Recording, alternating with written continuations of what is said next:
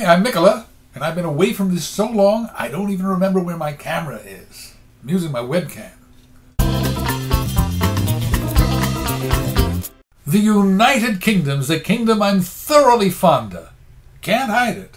Until they decided they had to keep Michael Aranda outside it.